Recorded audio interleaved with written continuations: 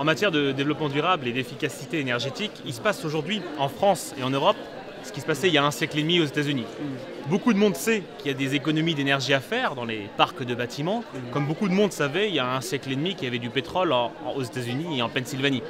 Il y a un siècle et demi, vous aviez plein d'entrepreneurs qui fonçaient en Pennsylvanie, ils achetaient des lopins de terre, ils embauchaient de la main-d'œuvre locale, ils se mettaient à creuser, et puis certains trouvaient du pétrole et d'autres n'en trouvaient pas. Mais très vite, ce qui s'est passé, c'est que vous avez des ingénieurs qui se sont organisés pour essayer d'analyser la géologie des sols et de vendre l'information, de savoir où se situe le plus probablement le pétrole. Chez Deepkey, on rêve un jour de devenir l'une de ces entreprises. Notre métier à nous, c'est analyser non pas la géologie des sols, mais la configuration des bâtiments sur des grands parcs de bâtiments à distance pour vendre l'information de où se situent les économies d'énergie les plus rentables, les plus efficaces. Chez Deepkey, nous sommes une jeune start-up créée en 2014 nous sommes une dizaine de collaborateurs, nous avons déjà réalisé une vingtaine de projets, mais chez DeepKey, on est persuadé que ce qui fonctionne pour se développer plus vite, c'est l'écosystème.